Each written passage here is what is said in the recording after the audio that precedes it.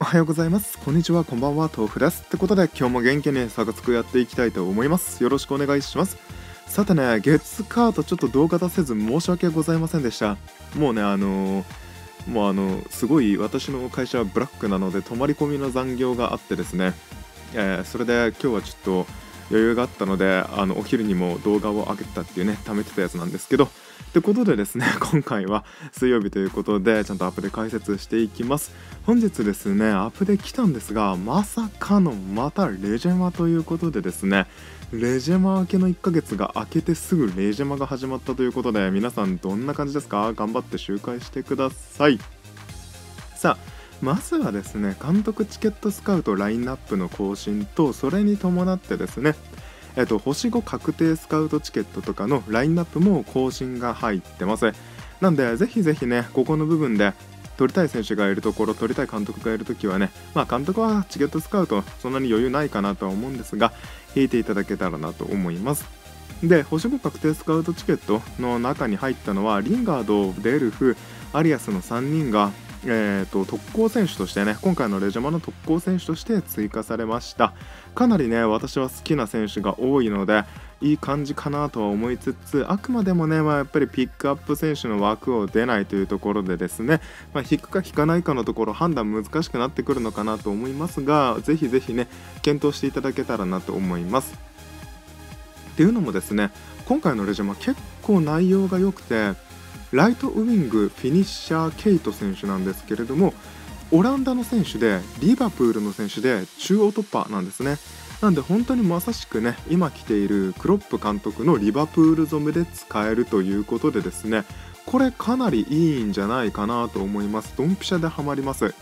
で内容というかねステータスも結構私個人的には評価が高いステータスで個人的にねいい選手だと思います。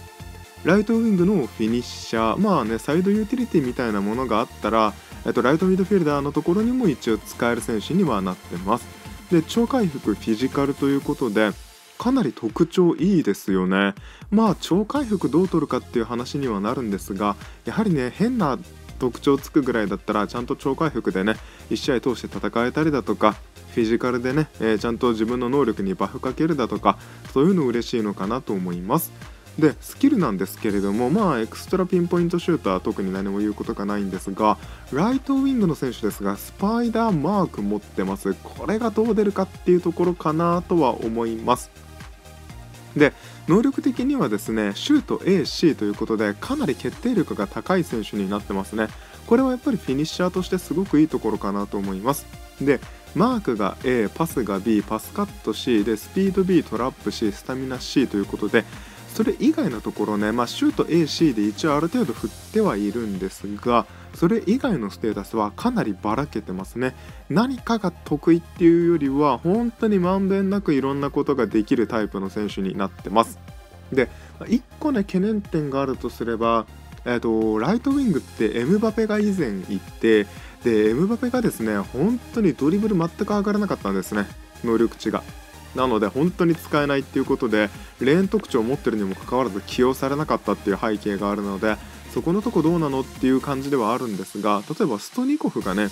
彼もフィニッシャーでレフトウィングで、えっと、シュートしか上がらずドリブルが一切上がっていない選手ではあるんですがそれでもですね、まあ、彼は孤高の力があるからかもしれませんがドリブルはもちろんしてくれませんがちゃんと点取ってくれるんですよね。まあ、今回のねケイト選手がクストニコフのようにちゃんと点を取ってくれるウィングなのであればフィニッシャーでね、まあ、ウィングでドリブルができないっていう現状ではありながらも選択肢としては悪くないのかなと個人的には思います。何よりですねやっぱりリバプール染めにね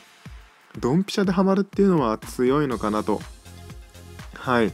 いやいいですね。まあ、レジェンドマッチがね、もうワンサかワンサか来ていて、皆さん大変かなとは思うんですが、ぜひぜひね、周回して貫突していただけたらなと思います。ただまあね、中央突破ライトウィング強い選手いっぱいいますからね、わざわざ彼を取りに行く必要があるかと聞かれたら難しいところですね。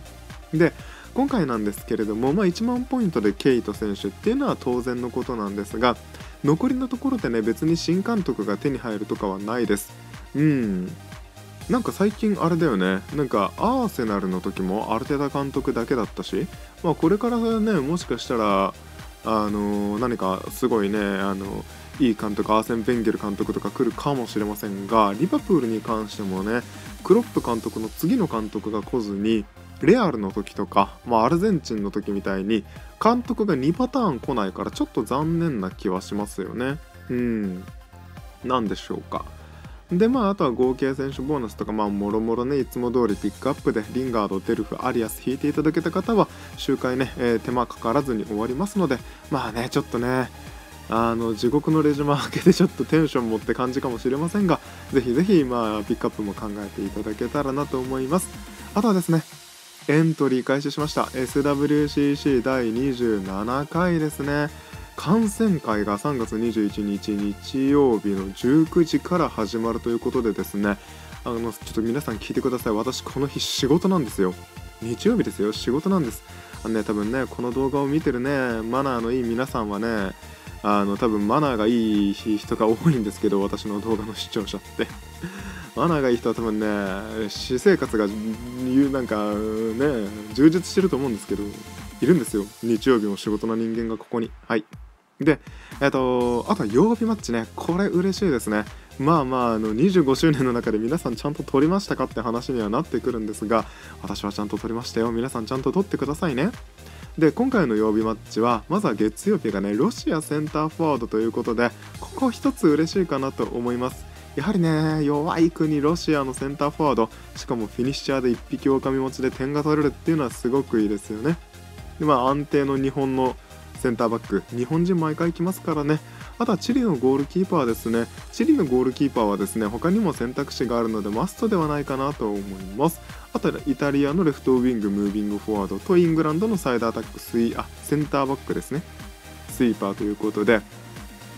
まあまあまあまあ今回そんなにエネルギー割かなくてもいいかなっていったような感じには全体的になってますね。うんまあレジュマが結構ハードなので曜日マッチ自体はねまだまだ期間あるんですけれどもちょっとまあ曜日マッチ忘れてレジュマ周回していただけたらなと思います。で SWCC もねエントリー始まってますのでぜひぜひ皆さんちゃんとねエントリーしてください。いやー懐かしいね。ついに私もゴールドぐらいの総合値になってきましたね。はい。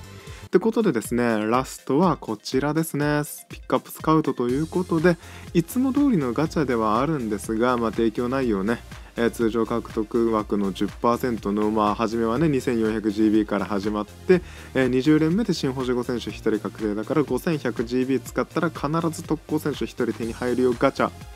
ではあるんですがまあちょっと難しいよねここね。うーん。どうですか？皆さんまだ余力が残ってますか？私あの前回のねあの10かんなんか回ったら10連引けるガチャで全力出しすぎても余力がないんですけど。でリンガードがイングランドのウエストハムのバージョンで出てきましたね。一応ねリンガードってレンタル移籍なので所属はマンチェスターユナイテッドなんですけどまあいいんじゃないでしょうか。根性のイメージも正直ないけどね。はい。最近ちょっといい活躍をしているのでもうちょっと強く出していただいてもよかったんじゃないかなとか思いつつも、まあ、私はリンガード好きなのでね。いや欲しいですね。でエバートンのファビアン・デルフだねパス職人フィジカルコンダクターということでで最後がサンティアゴ・アリアスですね。コロンビアのライトサイドバックの選手です。まあねどの選手もやっぱり特攻選手っていうだけなのでそんなにねずば抜けて強い選手っていうのはもちろんいませんしあとはあれですね。あのーまあ、今回のね、レジュマにどこまでエネルギー割くかっていう話にはなるんですが、私もね、ちょっと周回して、久しぶりにね、特攻選手なしで周回したら、50, 50スタミナ使って1700ポイントしか稼げずにですね、あのこんなたまらんかったっけって思ってはいるんですが、まあ、今回のレジュマですね、一応ミッションの方で、レジュママッチね、50試合したら、このケイト選手1人もらえるようになってますので、おそらくね、ちゃんとレジュマだけ周回しておけば特攻選手1人もいなくても、えっと、回れるはずです、1週間ね。うん。なんであまり気にせずにね、普通に自然回復だけで任せちゃってもいいのかなと。特に忙しい社会人の方ね、なかなかスマホ触る機会ないと思いますが、レジマだったらね、50スタミナベベベって消費できますので、まあ、ぜひぜひね、あのー、まあ、レジマレジマではありますが、今回もね、貫突させていただけたらなと思います。ってことで、ここまでご視聴ありがとうございました。皆様の良きゲームライフに乗ってます。豆腐でした。バイバイ。ここまでご視聴ありがとうございましたチャンネル登録を済みでない方はグッドボタンを押してないよって方はねぜひぜひやっていただけると私の励みになりますのでお願いいたします。もしよろしかったら次の動画もね見てってください。それでは皆様の良きゲームライフを祈っております。豆腐でした。バイバイ。